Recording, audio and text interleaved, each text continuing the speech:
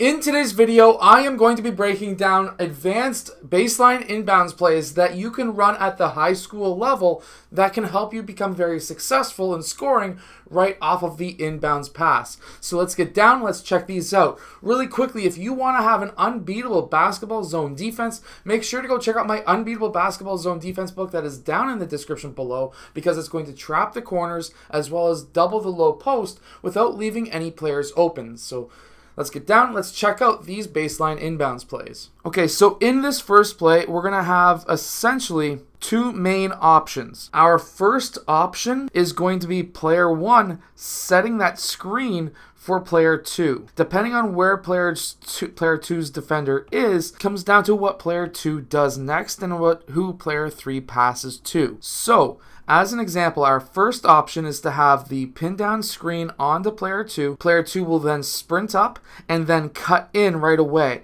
We are trying to get this player to go over top of this screen right here. As soon as that player uses that screen, he is then going to then cut in between players 4 and 5 and this is going to be an elevator screen where they close on player 2's defender. Player 2 is going to pop out. This is going to be a pass to player 2 for the three point shot and player 1 is going to be rolling off towards the basket as the secondary option. If neither of these players are open, player 5 is going to pop up as safety, and player 4 is going to sprint towards the ball to be the third as well as fourth option in this play. If you're looking for a three point shot or have a deadly three point shooter and potentially a big man as a guard, this is actually a very beneficial play to run. So, for example, if I was to run David, if I was having my team from the summer and I was running David as my point guard. I would potentially have him setting that screen for Ilya, who was a shooting guard, and while Ilya was a bit shorter, that will help us because now David was a 5 foot 10 point guard at the grade 8, technically grade 7 in the United States level.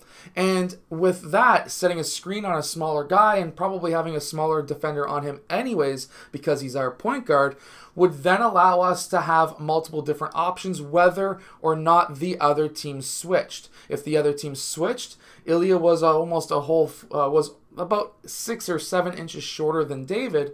If his man switched off on David, then David would have a mismatch. David would probably already have a mismatch in this play, anyways, because he would be the point guard. So if you've got a taller guard, this could be a great option. This next play I seen a few weeks ago and it was actually quite interesting and I really liked it. What we're going to start with is player 4 on the outside, player 5 on the inside. Personally, I would actually run this with the big man, the actual tallest guy on the outside, but it depends on your team's makeup. Player 5 is going to then sprint up and cut in between players 1 and 2. Player 4 is going to sprint up and he's going to cut around player 2. The idea here is now players 1 and 2 are both facing this way and they're setting the elevator screen on player 5. Meanwhile, player 4 is sprinting around this whole elevator screen set so that now player 4 could be open for the three point shot. And because of the elevator screen, we would have player 5 who is cutting towards the basket, and this is going to give players three or player three two options. He can kick it out to player four for the three point shot or five in the low post. If neither of these options are open, player one is going to sprint towards the inbounder. This could be our third option. And player two is going to be running back as safety. He could also cut down towards the wing as well. There's a couple of different options for player two depending on how his man is being guarded. But basically, how this looks is like this.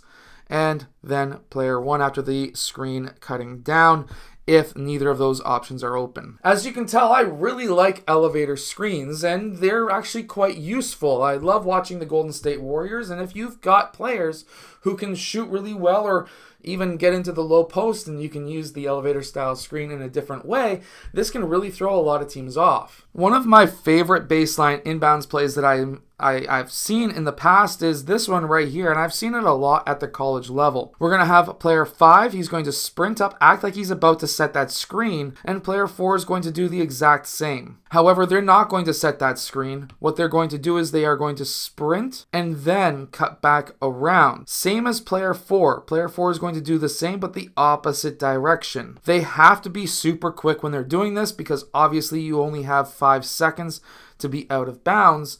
So, Player 5 would be our first option. We would have player 4 as our second option. After this screen, we would have player 2 sprinting down towards this post on this side. He could be our third option. And player 1 after the screen will be sprinting up and he will be our fourth option as a safety. You can do the exact same play, just the opposite direction. So you can have player 5 and player 1 acting like they're about to set that screen, but instead of setting that screen, they're going to loop back around players 4 and 2, and then they're going to be attacking the basket once again. This will give player 3 multiple different options to inbound that ball. And then we can have player four after the screen sprint out to the corner and player two sprint out here as safety. This will again give us four options for this inbounds. Now this one's a line inbounds and this one is actually quite fun. We're to have player 4 set that screen on player 1